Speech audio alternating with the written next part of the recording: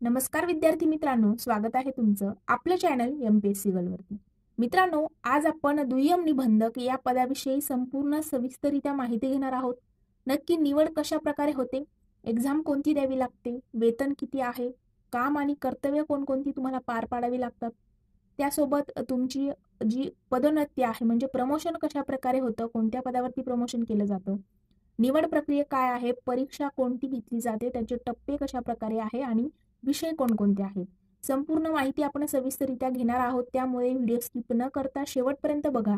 जेणेकरून तुम्हाला कोणत्याही प्रकारची शंका दुय्यम निबंधक या पदाविषयी यानंतर राहणार नाही. चला तर मित्रांनो आपण व्हिडिओला सुरुवात करूया. तर मित्रांनो दुय्यम निबंधक ज्याला आणखी एक शब्द आहे मुद्रांक निरीक्षक. ज्याला इंग्रजीमध्ये आपण सब रजिस्टर देखील म्हणतो. दुय्यम निबंधक मुद्रांक निरीक्षक किंवा सब रजिस्टर. तर मित्रांनो हे श्रेणी एकचं पद आहे. गट ब अराजपत्रित पद आहे.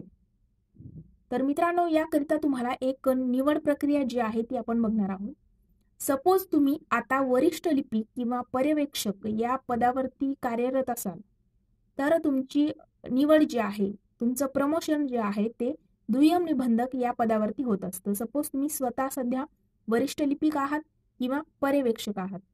या पदावरतून तुमचं जे प्रमोशन आहे ते दुय्यम निबंधक म्हणजेच मुद्रांक त्या ठिकाणी मुद्रांक निरीक्षक या पदावरती केलं जातं. आणि दुसरं एक निवड प्रक्रियामध्ये आपल्याला दुसरा ऑप्शन आहे की आपल्याला एक एक्झाम असते M P S C through एक एक्झाम घेतली जाते. त्या एक्झामच्या थ्रू आपण दुय्यम निबंधक हे पद मिळवू शकतो. अगोदर म्हणजे तुम्ही वरिष्ठ वरिष्ठ लिपिक किंवा पर्यवेक्षक असाल तर प्रमोशन होईल. आणि दुसरा टप्पा म्हणजेच एम पी एस सीद्वारे महाराष्ट्र पब्लिक सर्व्हिस कमिशनद्वारे घेतली जाणारी गड व संयुक्त परीक्षा जर तुम्ही दिली तर तुम्ही दुय्यम निबंधक पद मिळवू शकता. मग त्या परीक्षेचे टप्पे किती आहेत? तर दोन टप्पे आहेत. पूर्व परीक्षा आणि मुख्य परीक्षा असे दोन टप्पे तुम्हाला पार पाडावे लागतात.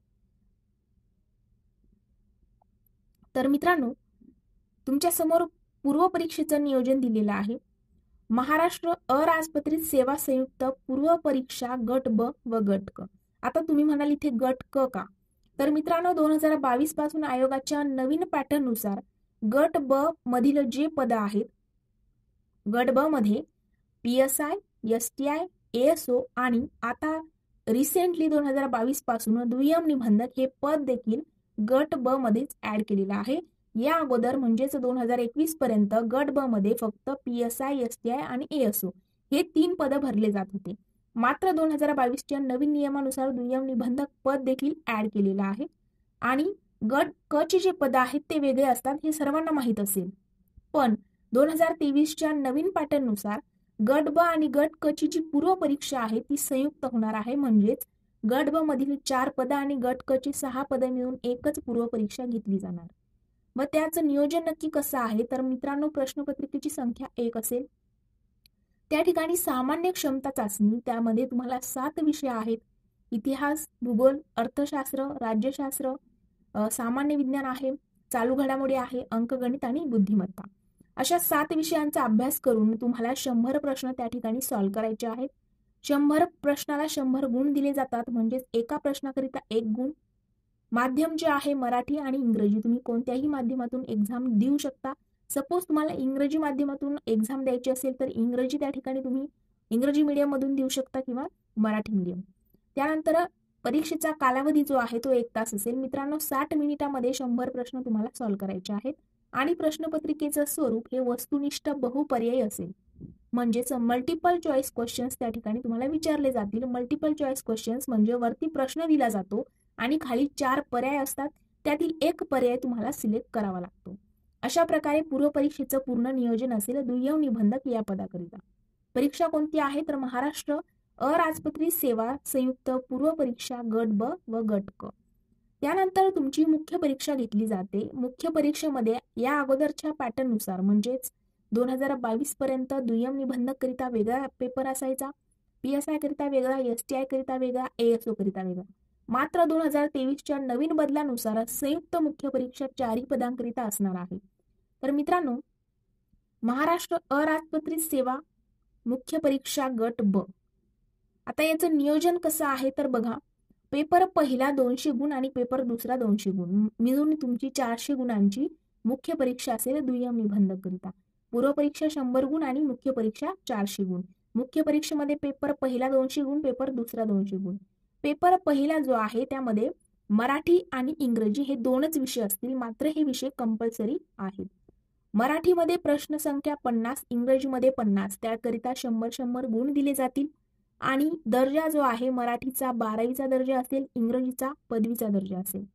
माध्यम जो आहे मित्रांनो मराठीकरिता मराठी माध्यम इंग्रजीकरिता इंग्रजी माध्यम.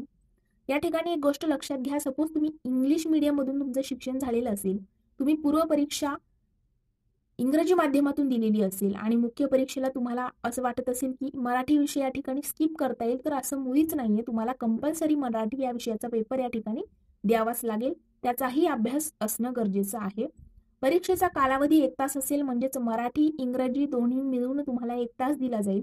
त्या साठ मिनिटामध्ये तुम्हाला प्रश्न सॉल्व्ह करायचे आहेत आणि प्रश्नपत्रिकेचे स्वरूप या ठिकाणी देखील वस्तुनिष्ठ बहुपर्यायी म्हणजेच मल्टिपल चॉईस क्वेश्चन्स असतील या ठिकाणी देखील लेखी परीक्षा असणार नाही. मग सेकंड पेपरकडे आपण येऊया. तर सेकंड पेपरमध्ये मित्रांनो पुन्हा दोनशे गुणांचा तुमचा सेकंड पेपर देखील असेल. सामान्य अध्ययन व बुद्धिमत्ता चाचणी त्यामध्ये ही प्रश्नसंख्या शंभर असेल. गुण त्या ठिकाणी दोनशे दिले जातील. बघा पूर्व परीक्षेला एका प्रश्नाला एक गुण आहे मात्र मुख्य परीक्षेला एका प्रश्नाला दोन गुण दिले जातील. आणि मित्रांनो माध्यम जे आहे मराठी किंवा इंग्रजी तुम्हाला तुमच्या मनावर आहे तुम्हाला मराठी माध्यमातून पेपर द्यायचा आहे की इंग्रजी माध्यमातून? परीक्षेचा कालावधी एक तास असेल आणि प्रश्नपत्रिकेचे स्वरूप हे वस्तुनिष्ठ बहुपर्यायी. अशा प्रकारे परीक्षेचं नियोजन आपण बघितलेलं आहे. व त्याकरिता शैक्षणिक पात्रता नक्की काय असायला हवी? आता आपण बघितलेलं आहे निवड कशा प्रकारे होते तर प्रमोशनद्वारे होऊ शकते किंवा तुम्हाला एमपीएससी थ्रू घेतली जाणारी परीक्षा द्यावी लागेल. मग त्याकरिता काय क्रायटेरिया आहे? तर मित्रांनो शैक्षणिक पात्रता जर बघितली तर तुमच्याकडे पदवी असणं गरजेचं आहे. तुमचं ग्रॅज्युएशन मित्रांनो कंप्लीट झालेलं असायला हवं. किंवा तुम्ही पदवीच्या शेवटच्या वर्षाला असाल तरीही तुम्ही पात्र आहात. आणि मित्रांनो पदवी कोणत्या फील्डमधून घ्यावी? तर पदवी कोणत्याही फील्डमधून चालेल. तुम्ही बी फार्मसी केलं असेल बी कॉम केलं असेल बी एस सी केलं असेल बी ए केलं असेल M B B S doctor तुम्ही असाल कोणत्याही फील्डमधून तुम्ही ग्रॅज्युएशन कंप्लीट केलेलं असेल तरीही एक्झाम देऊ शकता. किंवा पदवीच्या शेवटच्या वर्षाला असाल तरीही एक्झाम देऊ शकता. मात्र या ठिकाणी एक अट आहे ती अशी की पूर्व परीक्षेच्या वेळी तुम्ही लास्ट इयरला असाल तरीही ॲपियर आहात. मात्र मुख्य परीक्षेकरिता जेव्हा मुख्य परीक्षेचा फॉर्म भरण्याची वेळ येईल जेव्हा जाहिरात येईल आणि अर्ज करण्याची तारीख असेल त्या तारखेपर्यंत तुमचं ग्रॅज्युएशन कंप्लीट असणं गरजेचं आहे. ग्रॅज्युएशन कंप्लीट असलेलं सर्टिफिकेट तुम्हाला त्या ठिकाणी सबमिट करावं लागतं. अशा प्रकारे या ठिकाणी एक अट आयोगाने घातलेली आहे. आणि मित्रांनो मराठी भाषेचं ज्ञान आवश्यक आहे. मी आत्ताच सांगितले की तुम्ही इंग्रजी माध्यमातून जरी तुमचं शिक्षण झालेलं असेल तुम्ही सीबीएसई पॅटर्नचे विद्यार्थी असाल तुम्ही इंग्रजी माध्यमातून शंभर टक्के तयारी करू शकता. पूर्व परीक्षेची देखील मुख्य परीक्षेची देखील मात्र या ठिकाणी तुम्हाला मराठी भाषेचं ज्ञान देखील असणं गरजेचं आहे. कारण मुख्य परीक्षेकरिता मराठी हा विषय कंपल्सरी आहे. त्यामध्ये स्किप करून चालणार नाही. आयोगाने सांगितलेलं आहे की मराठी इंग्रजी कंपल्सरी आहे. त्यामुळे त्या ठिकाणी मार्क्स घेणं गरजेचं आहे. त्याच वेळी तुम्हाला मुख्य परीक्षेचा तुमचा रिझल्ट येईल. आता सगळ्यात महत्वाचं म्हणजे वयोमर्यादा. मित्रांनो वयोमर्यादा जर बघितली तर किमान जे आहे म्हणजे कमीत कमी वय तुमचं एकोणावीस वर्ष असायला हवं. एकोणावीस वर्षाखाली तुम्ही असाल तर या ठिकाणी एक्झाम तुम्हाला देता येणार नाही. आणि जास्तीत जास्त वय आपण आता कॅटेगरीनुसार बघणार आहोत. तर अमागासवर्गीय तुम्ही असाल तर एकोणावीस वर्ष ते अडतीस वर्षापर्यंत एक्झाम देऊ शकता. मागासवर्गीय असाल तर एकोणावीस वर्ष ते त्रेचाळीस वर्ष. खेळाडू अमागास असाल तर एकोणावीस ते त्रेचाळीस वर्ष. खेळाडू मागासवर्गीय असेल तर एकोणावीस वर्ष ते त्रेचाळीस वर्ष. माजी सैनिक आणीबाणी व अल्प सेवा राजदिष्ट अधिकारी मागास असेल तर एकोणावीस ते अडतीस वर्ष. माजी सैनिक आणीबाणी व अल्पसेवा राजदिष्ट अधिकारी अमागास असेल तर एकोणावीस ते अडतीस वर्ष वय या ठिकाणी आहे. आणि मित्रांनो दिव्यांग उमेदवार जे आहेत दिव्यांग उमेदवार देखील या ठिकाणी पात्र आहे. एकोणावीस वर्ष ते पंचेचाळीस वर्षापर्यंत तुम्हाला एक्झाम देता येते. सपोज तुम्ही दिव्यांग असाल तरीही तुम्हाला पंचेचाळीस वर्षापर्यंत या ठिकाणी आयोगाने सवलत जी आहे ती दिलेली आहे. तर मित्रांनो गट ब मध्ये एक पद वाढलेलं आहे. तुमच्याकरता आनंदाचीच बातमी आहे. बावीस दोन हजार बावीसपासून जे आता एक्झाम होतील त्यामध्ये गट ब करिता दुय्यम निबंधक हे पद देखील ऍड असणार आहे. आता सगळ्यात महत्वाची गोष्ट आपण पूर्व परीक्षा क्रॅक केली आहे मुख्य परीक्षा क्रॅक केली आहे त्यानंतर महत्वाची गोष्ट म्हणजे वेतन. नक्की वेतन किती असतं? तर बघा अडतीस हजार सहाशे ते एक लाख बावीस हजार आठशे या दरम्यान तुम्हाला दुय्यम निबंधक या पदाकरिता महाराष्ट्रामध्ये वेतन दिले जातं. अधिक महागाई भत्ता वगैरे जे आहे नियमाप्रमाणे तर तेही तुम्हाला त्या ठिकाणी दिले जातील. पण एक्झॅक्ट आकडा जो असेल तो आपण या ठिकाणी सांगू शकणार नाहीत. तर अडतीस हजार सहाशे ते एक लाख बावीस हजार आठशे पर्यंत तुम्हाला या ठिकाणी वेतन दिलं जातं. मग त्यानंतर नोकरीचं ठिकाण कोणतं आहे? तर मित्रांनो महाराष्ट्रातील कोणत्याही जिल्ह्यात कोणत्याही तालुक्यात तुमची नियुक्ती केली जाते. बघा महाराष्ट्रातील महाराष्ट्रामध्ये एकूण छत्तीस जिल्हे आहेत. त्या छत्तीस जिल्ह्यातल्या कोणत्याही तालुक्यात तुमची नियुक्ती केली जाते. त्या ठिकाणी तुम्हाला तुमची कामं कर्तव्य पार पाडावी लागतात. मग ती कामं कोणती आहेत? तर बघा खरेदी विक्री संबंधित दस्तऐवज हाताळणं त्यासोबत दस्त तपासणी करणं फी गोळा करणं पावती तयार करणं कार्यवृत्त तयार करणं प्रशासन अहवाल तयार करणं हे सर्व कामं एक दुय्यम निबंधक करत असतो. या ठिकाणी तुम्हाला हे शब्द थोडेसे अवघड वाटत असतील पण ज्यावेळी तुम्ही परीक्षा क्रॅक केल्याच्यानंतर तुम्ही त्या पदावरती कार्य कराल त्यावेळी तुम्हाला हे सर्व लक्षात येईल. तर मित्रांनो आपण आज दुय्यम निबंधक या पदाविषयी संपूर्ण सविस्तरित्या माहिती बघितलेली आहे. आता याचं प्रमोशन होतं का? म्हणजेच दुय्यम निबंधक या पदावरती आपण जेव्हा कार्य करू त्यावेळी प्रमोशन होईल का? तर हो. तुमचं ज्येष्ठता आणि पात्रतेनुसार उपमुद्रांक अधीक्षक या पदावरती मित्रांनो प्रमोशन होत असतं. तुम्ही दुय्यम निबंधक या पदावरतून उपमुद्रांक अधीक्षक या पदावरती जाऊ शकता. तुम्ही चांगलं काम वगैरे केलं आणि त्यानुसार जे काही वर्ष असेल सहा वर्ष काम किंवा आठ वर्ष काम त्यानंतर जे प्रमोशन असेल ते तुमचं उपमुद्रांक अधीक्षक या पदावरती केलं जाईल. तर अशा प्रकारे आज आपण दुय्यम निबंधक म्हणजेच मुद्रांक निरीक्षक या पदाविषयी संपूर्ण सविस्तरित्या माहिती बघितलेली आहे.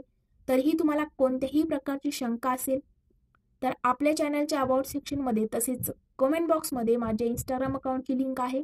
तिथे जाऊन तुम्ही मला मेसेज करू शकता किंवा तुमचे जे काही प्रश्न आहेत ते मला त्या ठिकाणी विचारू शकता. मी नक्कीच त्या ठिकाणी तुमच्या प्रत्येक प्रश्नाचं उत्तर देण्याचा प्रयत्न करेन. तर आज आपण इथेच थांबूया. Thanks for watching